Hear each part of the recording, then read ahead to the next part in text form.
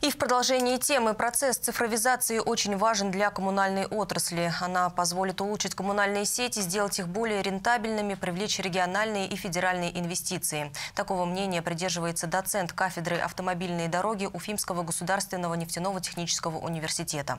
Для того, чтобы правильно проложить инженерные коммуникации, специалистам необходима картина местности. В этой работе могут помочь беспилотные летательные аппараты, которые создают подробный план на основе данных топографии, геодезии и так далее.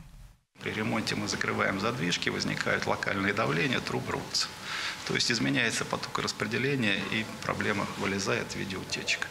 Соответственно, необходимо а, рассчитывать наши коммунальные системы вот под всякие режимы. Они могут быть режимы ГО и ЧС, связанные с авариями, режимы при замене, при ремонте наших коммуникаций, прокладка новых коммуникаций, подключение новых зданий и так далее. По словам ученых, это касается и инженерных коммуникаций, дорог, зданий и сооружений.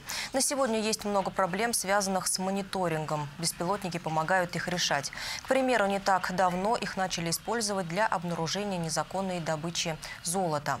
При этом отрасль создания беспилотных летательных аппаратов пока еще сталкивается с импортозависимостью, юридическими вопросами и нехваткой кадров.